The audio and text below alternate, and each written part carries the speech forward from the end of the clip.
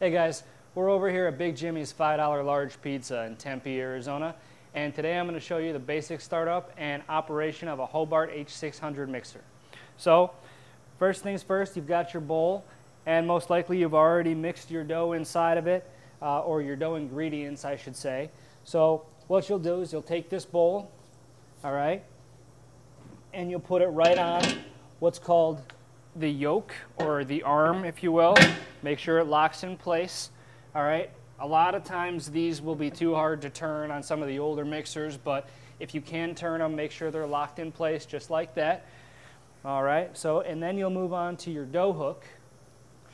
You'll set your dough hook inside just like that. All right.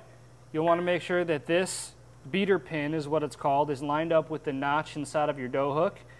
Push it up and then turn it clockwise until it falls into that divot right there. All right, so your dough hook is on, your ingredients are in your bowl.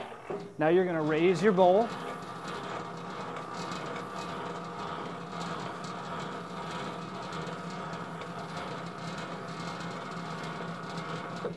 You'll want to go as high as you can until it stops. Do not turn it past where it stops, otherwise you could damage the threads or your lift nut inside of here. And you also want to make sure that there's at least a half an inch to an inch of space between the hook and the bottom of the bowl, otherwise you could damage the bowl. And these are very, very expensive. So the next thing is you'll come over here and you'll make sure the mixer is in gear, all right? You always want to mix dough on speed one. Never use two, three, or four for mixing dough. This is very important. This will tear up your transmission. So always, always, always speed number one. Then what you're going to want to do is you're going to want to set your timer to whatever time you want it to mix for. So we'll set this one to 13 minutes for just for an example. All right. Then you'll push your start button one time. And that will start your mixer. Now, when this timer counts down, we're going to speed up this process a little bit. But when it gets to zero,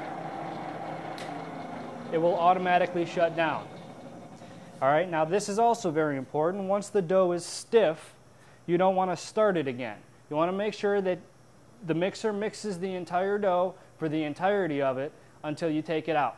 You don't want to start, stop and start and stop and start. This could also damage your transmission. So once the dough is mixed, you'll lower it down.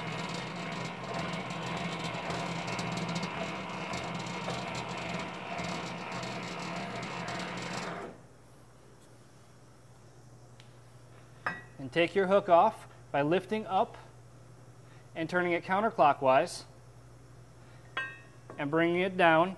Now it'll be a little stiff because you have the dough in here already. And then you'll take the hook off, set it aside.